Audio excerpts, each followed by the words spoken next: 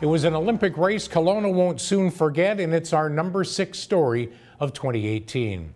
Hometown darling Kelsey Serwa traded in her Sochi silver for Pyeongchang gold, winning the women's ski cross final at the 2018 Winter Olympics.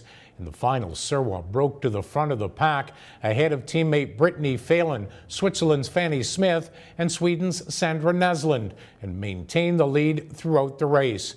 As she crossed the finish line, Canadians across the country roared with pride and excitement.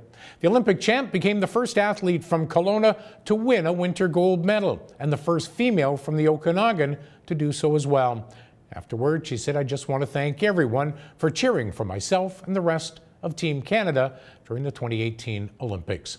Serwa hasn't stopped just yet. She's in Europe for one last ski cross season, a farewell tour of sorts.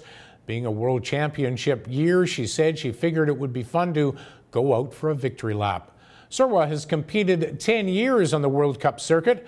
During that time, she's raced 72 times, finished on the podium 19 of those times, including eight wins.